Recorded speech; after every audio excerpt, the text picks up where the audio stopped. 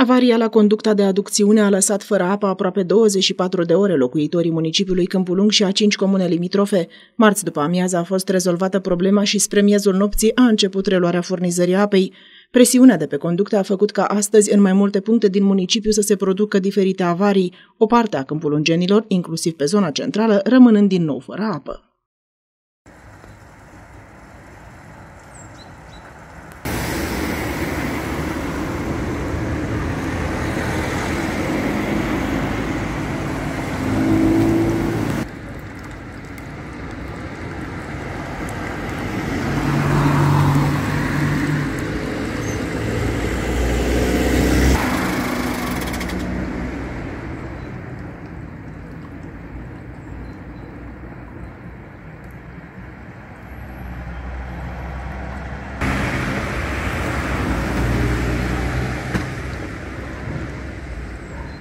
Din păcate, până la înlocuirea conductelor din rețea, astfel de avarii se pot produce oricând, indiferent de vreme.